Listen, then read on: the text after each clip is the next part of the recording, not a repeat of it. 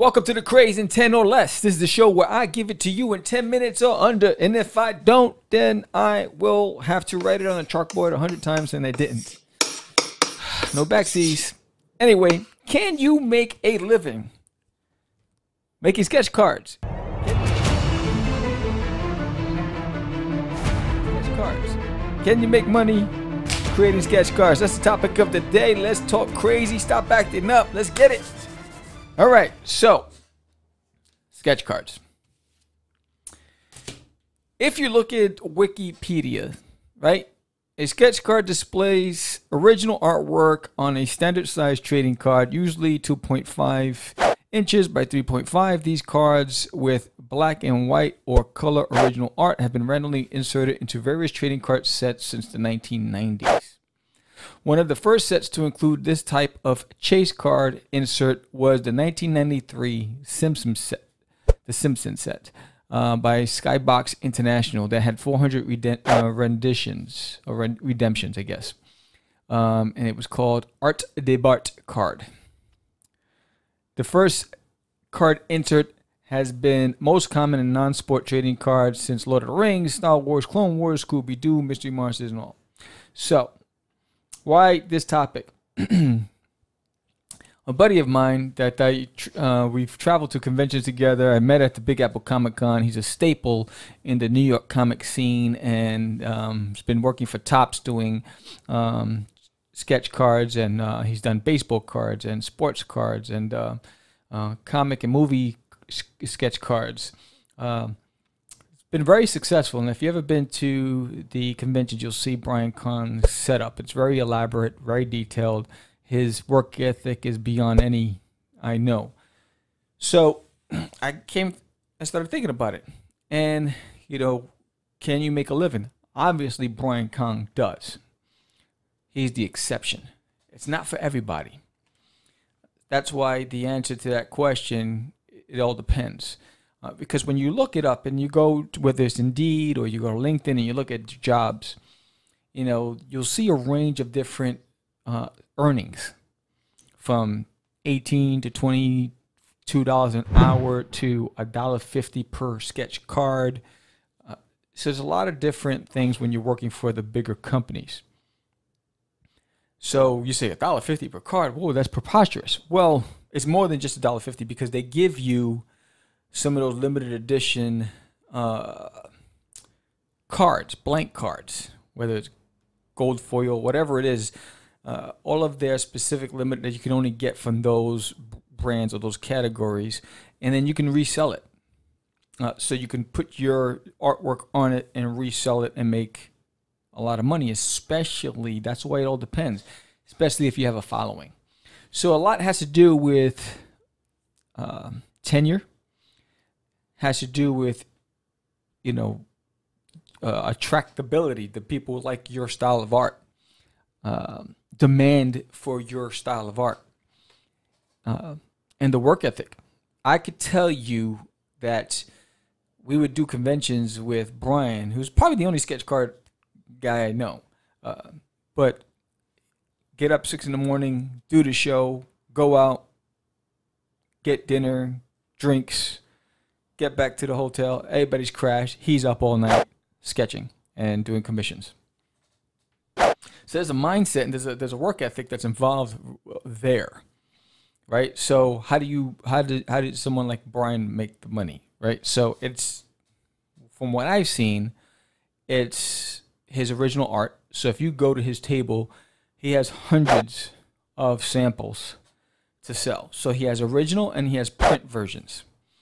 Uh, he's done everything from the Warriors, the movie, Lord of the Rings, uh, Marvel Comics stuff. So really, it's it's your work ethic and the networking. So sketch card. I can tell you that this is one of mine for designating my toilet duty. It's uh, one of my sketch cards, and this is my branded card. So if I take it out of the uh, frame, this is when uh, all my characters from a book on the back of it, and the art of Samuel, which is below, and I started doing this because um, I was introduced to this by Brian. So I was like, all right, what I learned was at the big shows, people might not want to invest in an independent comic book that they don't know. So you need to have something else.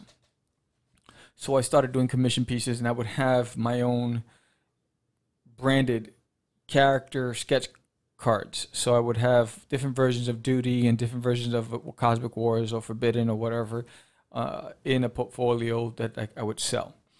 And if it was black and white, I'd sell them for five bucks. If it was full color, I'd sell it for ten bucks.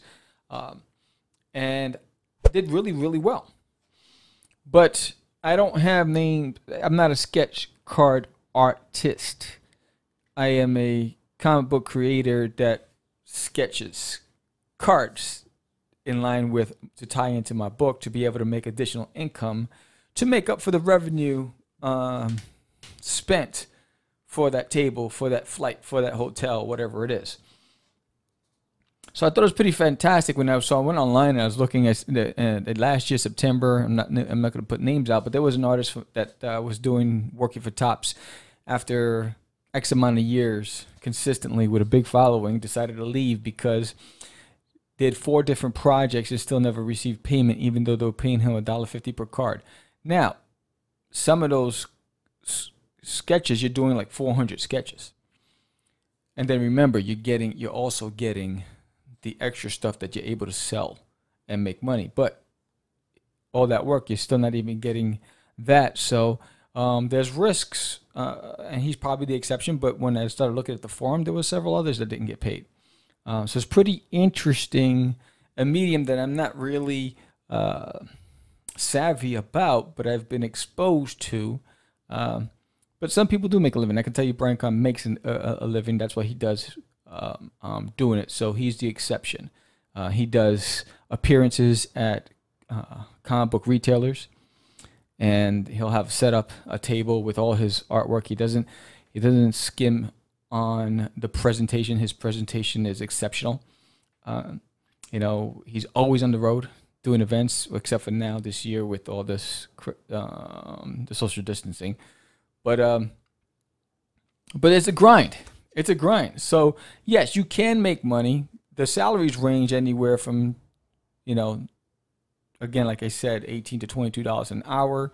Then there's the dollar fifty per card. Uh, then you know, then there's also selling it on eBay, um, having your own website, having a fan base, having a following, having a connection to some major lines. Uh, so all those variables will determine your success rate and whether or not you'll have longevity in the sketchbook arena. Uh, so if you're a sketch uh, card artist and you want to be able to provide some um, insight into your world, you know, please respond to this video on YouTube, uh, and uh, let's let's chat about it. Um, and uh, so that's the crazy ten or less. It just came into my head. I was thinking about it. Making a living drawing sketch cards. You can, if you are the exception. So, subscribe to Catch Da Craze um, podcast. Hit that bell. Don't ever miss another episode going forward. I appreciate your support. I'm Sam the Crazy Man Vera. If you didn't see, I was on JD Calderon's show. It was pretty cool. We had a great time chatting it up, and he made me think about a lot of things that I almost forgot. It was a really good interview. Very proud of JD um, with his show. He's doing really well. Very, Sam the Crazy Man Vera. This is Catch the Crazy and 10 or less. I'll talk to you soon.